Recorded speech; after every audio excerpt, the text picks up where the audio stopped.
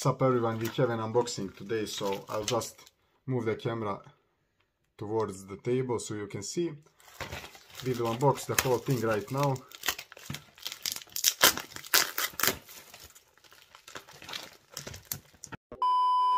So we are just unboxing it right now with the scissors because I couldn't open it with my bare hands. Let's go, let's go, let's go. It's almost opened. I will be able to pull it out soon. And here we go. It's a little Tesla Roadster, as you can see. So let me just pull up the camera. It's a little Hot Wheels Tesla Roadster. So I just ordered it.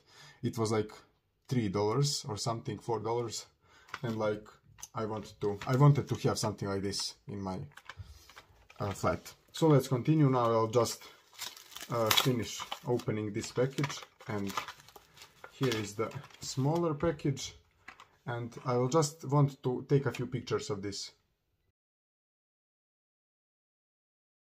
We will finish unboxing the whole thing so you can see the small Tesla Roadster. I just don't want to fuck it up so I'm trying to open it as gently as possible.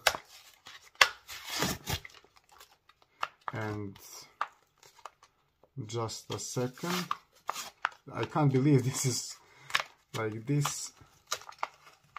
Yeah yeah yeah let's go. This is opening and here is the small Tesla Roadster. So yeah let's go. It's pretty small but it was as I expected it's like 64 times smaller than the real size Tesla Roadster, I think. So yeah, you can see the Tesla at the back. It's like attention to detail is insane. Like even at the front, this logo, like it's it's really nice. So it's really an interesting small toy, let's say.